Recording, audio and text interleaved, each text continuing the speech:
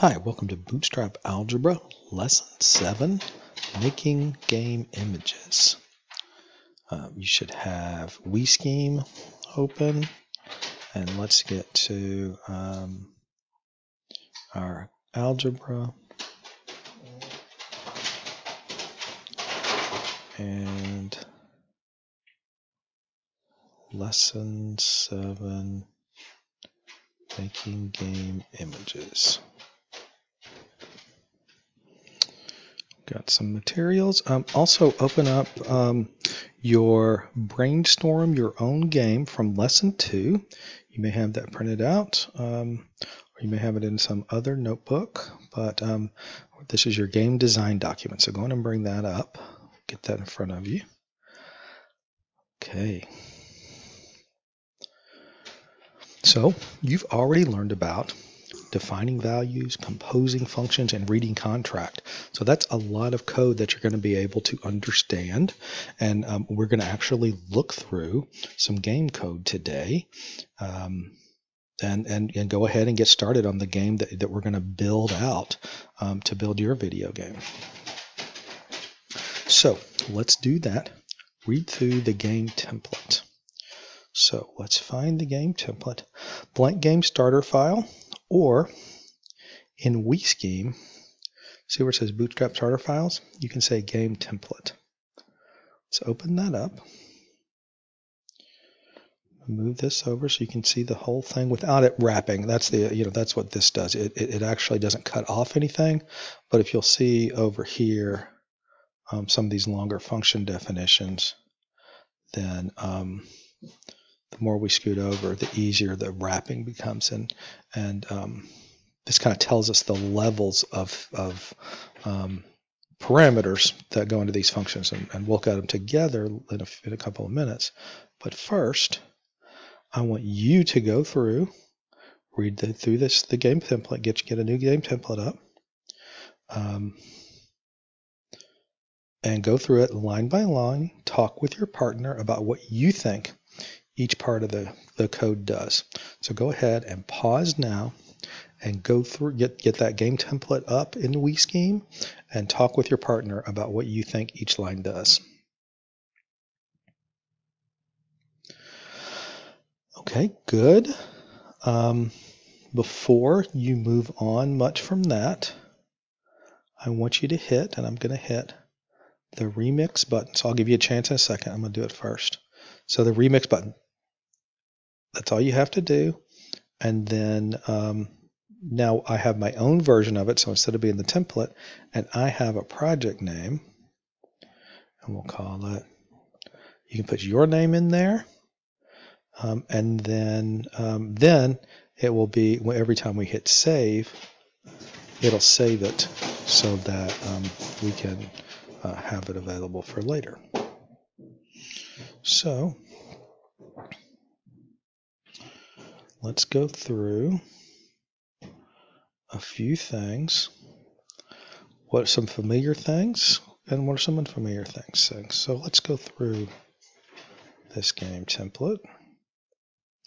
Well, we've seen comments before, so that's really good. So you've seen comments before, so you know that those don't um, uh, have any effect on the code. And um, here's a little uh, you can you can use these comment symbols to make boxes, and you'll see people who decorate their code really nicely to to give it um, little sections of code. And and you know you don't have to you can use start with that. As long as you start with that, it's going to ignore the line, right? So you could have this kind of box and put a little title in it. Here is uh, title for this box and do like that. So you can make all kinds of elaborate code things. The way programmers can waste time while we're thinking about other things to do is make nice little things, but they, they, they made nice little sections here to tell us what's going on in different parts of the section. You haven't seen this um, you know that the, this is going to be a require function. Um, and actually, this is going to, um, this is some of the bootstrap code that is behind this so that things that aren't defined here, like if we go down, you'll see we use a function called screen uh, called put image. So we don't know whether that's part of the built-in WeScheme or that came from this loaded teach pack or library. So that's just that's what this is doing. This is loading some extra functions into the environment. You know about define, so these are all defines. We haven't seen bitmap URL, but we'll talk about that. You might notice that they use capital letters here. That doesn't have any significance, um, any change in the program, but um, it's what we call in programming a convention. So it's just something that we're going to all agree on. And sometimes you may have conventions in your um, your gaming group, or you may have conventions in your uh, work, or where how you know with other people that you're programming with. And one of them that's very very common um, in scheme type languages is we put something that we're not going to change for the, the entire program into capital letters. So we'll call those a constant. So that's just something in the program. We're going to use it. So, so um, the technical definition for the thing that goes after the define is the variable name, if you remember that. But we're going to use this term constant for one that we're going to define early in the program, usually. Um, that is going to uh, be the same, so it's going to be constant for the entire game, and so we can remind ourselves and remind other readers uh, later in the game uh, that this was a constant. Um, we'll put it in all caps. And so you'll want to change my game. may want to change title color. We'll see what that does. What we're going to work with today are the things from your game design document, which if you see these constant names match the things that are in your game design document. Background player, target danger. So you already have some idea of what you're going to do with those. And this is going to give um, some real definition to those. It's going to make these as real things in our game. And then this is something new called screenshot. Um, and we will talk more about that later. Um, and then hopefully you notice this game is made up into sections. Um, right now, these are just templates, right? So you have we have a contract, so we can see what's going on. We don't know what examples are, but you can guess from the name example what kind of thing it's going to be. But you can see this is just what we might call a stub definition. All it does is take in something called x to some to an update danger function and returns x. Same thing with update target. And this is what we're going to do the rest of the uh, course is to define all of these new functions, and that's going to actually give us the uh, behavior that we want in our game so that we can um, uh, update and uh, make our player move around all of the things we want to do in our game um, so that's this is that's why it's called the game template and um, this is the document that we're going to use to uh, actually make that happen. And today we're going to focus in on just this part. So hopefully you saw those things as you walked through the game with your partner. What does screenshot return? So let's look at screenshot.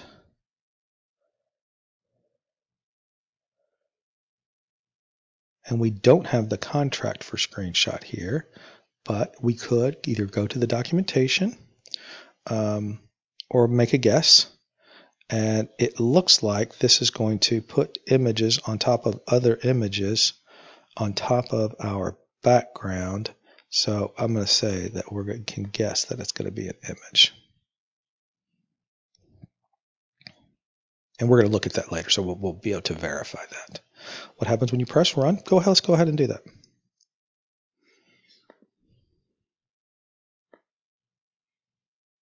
So it made a new window. Oops. Can move that right. It made a new window. And it looks like it has some game elements in it. And we can look and see where those came from. It's got a, well, we only see a background and a robot. We don't see this danger with a red triangle or target. Uh, but we do see the player that they got that from uh, this robot.png. I'm going to close that window. So it runs the game, but the game doesn't do anything. So it um, yet. So it um, it was just a static image, but it must be different than the screenshot thing we're talking about. So let's see if screenshot works. Ah, so now we see once you run the game, so I think you have to run it first to get that loaded in. And now we see robot, uh, the uh, danger triangle, is it danger? Yep, danger triangle, target circle, and the background. And it put those at these different locations. So it indeed does make an image. And we know we could do things like, so screenshot was a constant, right? So it's just a variable. So we know we could do things like, let's make it smaller so it's easier to look at. Scale, 0.25. Let's take it down to a quarter. Screenshot. There. There's a little tiny screenshot we can make for like a thumbnail or something. All right, and bitmap URL, well, we think that it probably goes out to the internet based on the word URL. And um, that's probably something that comes from this teach pack. And it goes out to this URL. If you know how URLs work, we can actually copy that entire thing. We don't need the quotes. So I copy this JPG and this web address, open a new tab, hit paste, and it makes that and it shows the background. So it goes out and that's exactly what our web browser does is it goes out to this server represented by Bootstrap World, goes to this directory, and this file exists, and our browser knows how to um, get a get a, an image file, and so it shows it. Same thing, Bootstrap uh, or um, uh, Bitmap URL knows how to go out to that server, ask for that file, and it retrieves it, but we told it to put the, the results, which is a binary file called a JPEG, which is just an image format, puts that into this background. So when we typed in um, background, we haven't done that yet. Let's do background. It's going to be really big, so let's do scale. Uh, 0, 0.25 background. It's just the background image. It already had it had already gotten that when it ran this file. It already got the um, uh, it already did this command, so it already loaded this image into this background variable or constant, and now I can access it anytime I want. So let's talk just a little bit about finding your game images.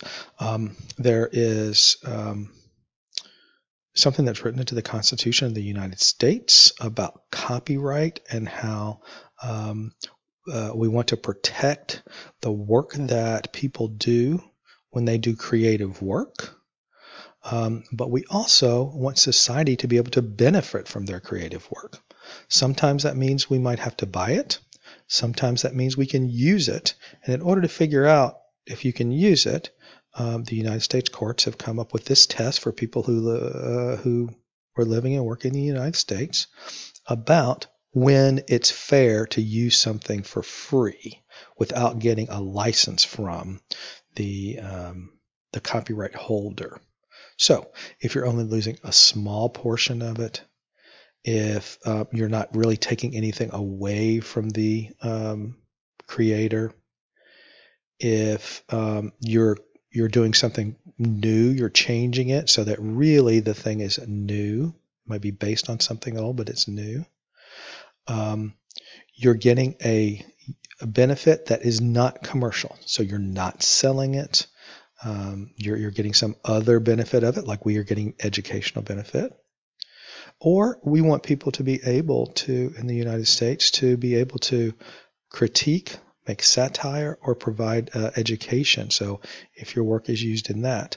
And all together, that's what this image is supposed to be showing, that each of these uh, leaves is part of a balancing test. And on balance, um, it points to fair use. So, so if it's a small portion, if it uh, doesn't take away, you know, all these other things, then it's fair for us to use it. So um, you can rely on fair use um, to use somebody else's copyrighted work, or we can just find um, works that actually allow certain types of use to begin with. So that's the easiest way to do, um, the, definitely the easiest way to start. Um, and our uh, lesson has some suggestions about the easiest way to search for that.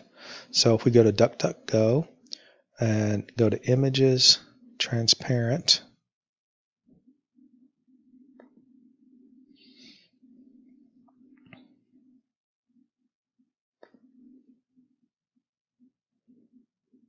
search for an image. So let's say we want a rocket.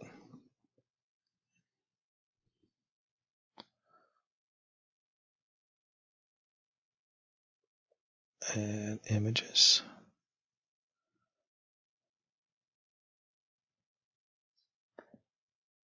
Transparent. All right.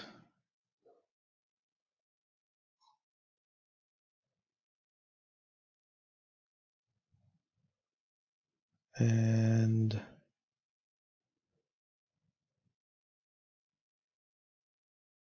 see if we can have I want like clip art.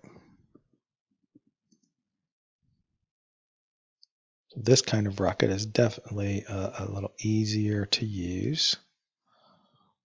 And let's see, do they give us any other advice on a license? I know on Google Images, um, we can choose a license type. So let's see if we can do that here.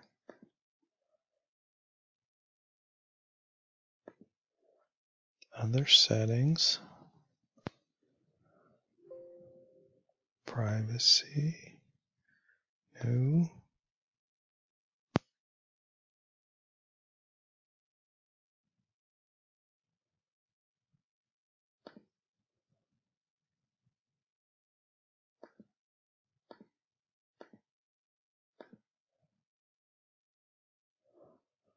I don't see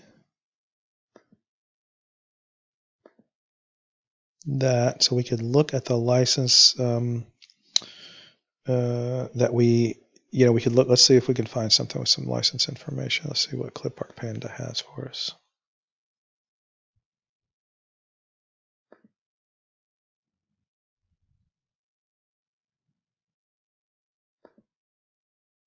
Doesn't talk about the license.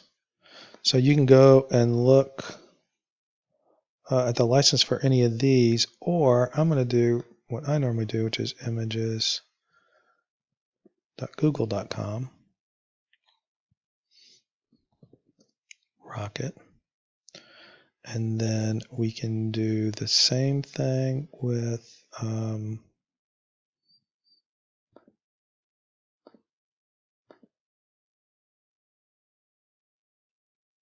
so we can click on clip art.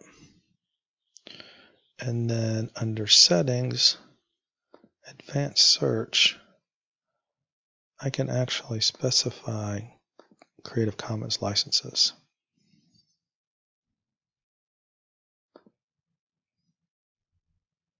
And then I can find, I'll get a license details um, by my, oh, I want a, I want a uh, transparent.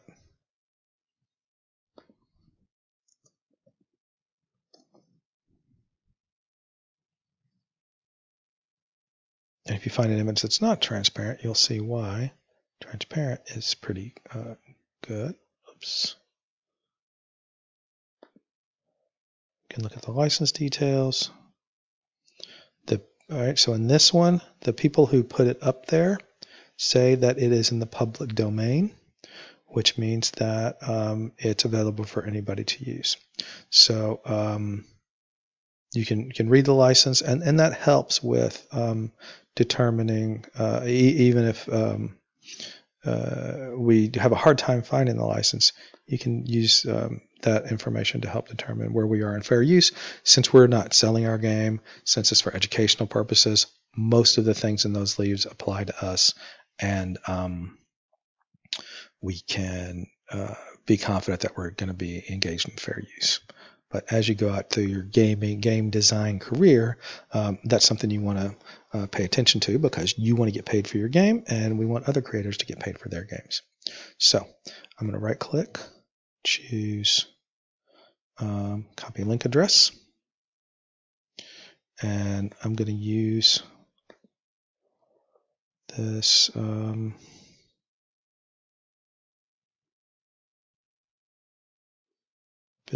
bitmap slash URL, double quote, paste.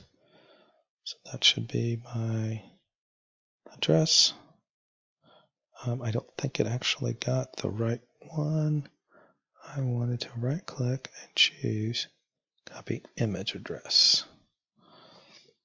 Bitmap URL, double quote, paste and it loaded it. It is huge mungus, but we know how to handle that. We can scale uh, 0.1 bitmap slash URL, quote. All right, let's try that. All right, that's a much better. And uh, remember, you can use, so let's say that I'm going to make define my dash rocket as paste that whole thing. All right, my dash rocket. Okay, and remember, you can, if I want to rotate it, I can say rotate. Uh, I always forget which is which, but it's so easy to, to um, experiment. I'm just going to say 90. I don't know whether that's going to make it pointing up or down. I want to point it up, uh, my rocket. And it is. So if I wanted to say, um, I could define up as, copy this,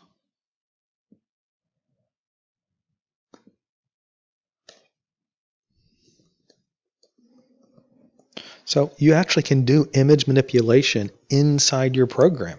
You know how to do a few things like rotate and um, uh, uh, scale up and down. Um, you may be able to, to figure out some other things by looking at the documentation.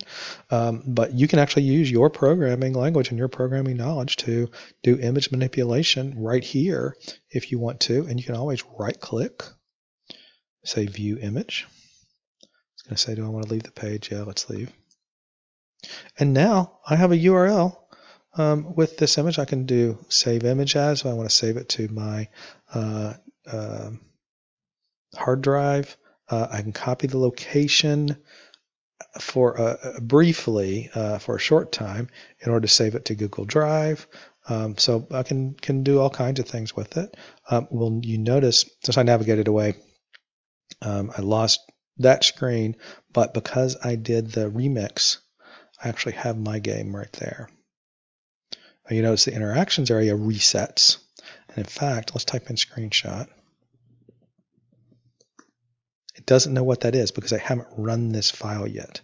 So I have to run that first. We get the game that doesn't move, close that. But now, now the interactions area understands all of the code that was over here. So this code gets executed and now I can interact with it. So now you can, if you haven't found images yet for your game, get those images, save them to Google Drive,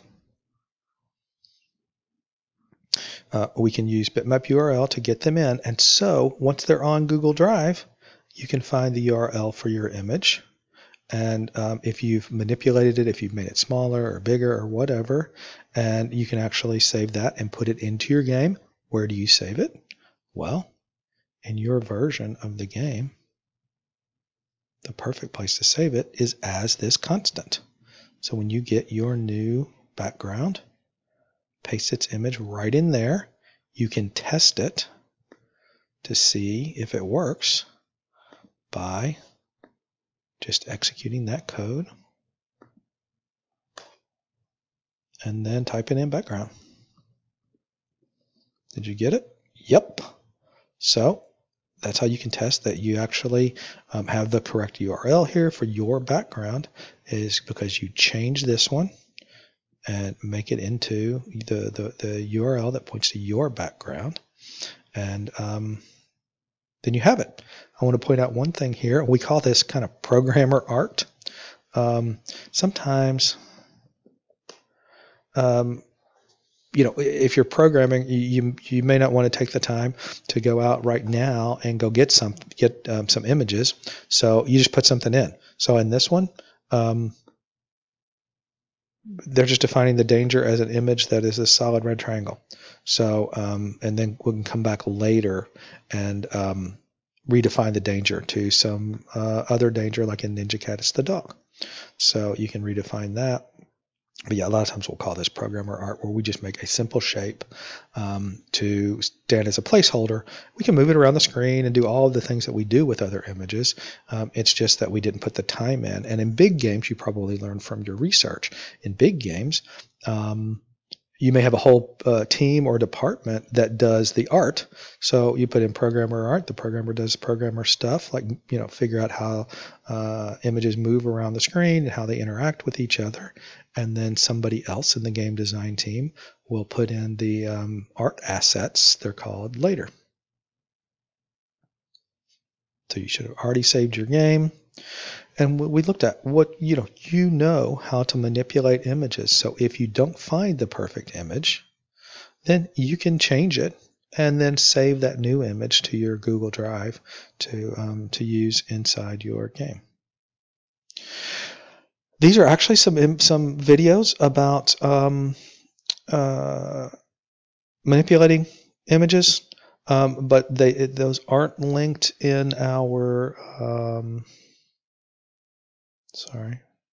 Those aren't linked in, in our um, uh, normal lesson file. So um, if you need to open up the um,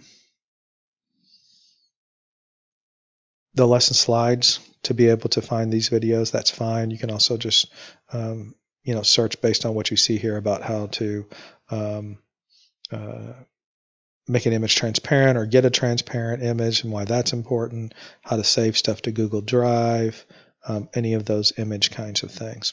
So, what's your homework? Your homework is to get some images from your, you know, that you talk about in your game design document, save those to your Google Drive, make sure you can use uh, bitmap URL to bring those into your programming environment, just like I did, so you can go back and watch if you need um, more examples of that. Define images as values. All that means is you actually use them here. So, you know, make this point to your image. Make this uh, a bitmap URL that points to your image. For all of these, danger background target player. And uh, make sure it looks exactly how you want it to take your screenshot. So here's something they've given us. Remember, after your game runs, all this is available. So after the, you make any changes you want to, like say, I want to make this a bigger triangle and I want to make it purple. That's probably not going to show up well in the dark background. Let's make it yellow. All right, so this is just a new image that you know I, I loaded out there, and then uh, when I save, let's double check that nothing changes. Let's do um, danger. See, it's still red, right? Because um, I haven't run this, so I have to run it. I can close the game. But now when I do danger, it's that. So now let's do screenshot. And there's my yellow. And we can manipulate this um, screenshot just like, um, so, so we can see, look, it puts an image, it looks like it builds it up from the bottom with the last thing. So the background, the player. So let's move our danger. Let's see, let's say we want to move it very far to the right. We know that this is 640 over here. This says it's 150, 200, So let's move it way over here. How about 500? Let's change this to or 550. And then I've got to run. Then I'm going to do screenshot again. Can I do up arrow? Yes, up arrow. Alt up arrow. And now, oh, I drove him almost off the screen. Let's put him back at just 500. Run.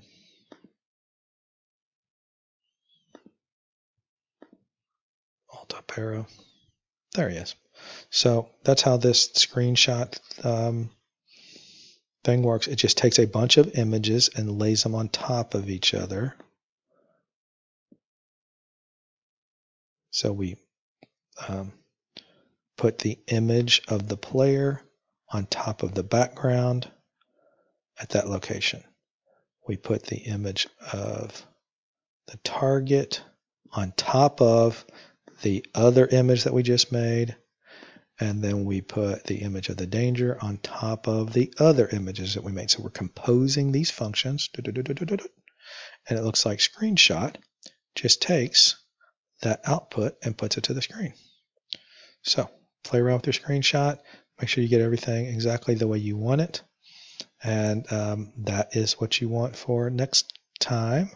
And then um, you can, um, once you get your screenshot it the way you want it, you can take a literal screenshot or you can take a picture of it uh, with your phone um, so that you can um, uh, keep that uh, as an example of the way you had it. And uh, don't forget to save. It's going to save every time you run anyway, um, but uh, it never hurts to hit the save button if you got a save button.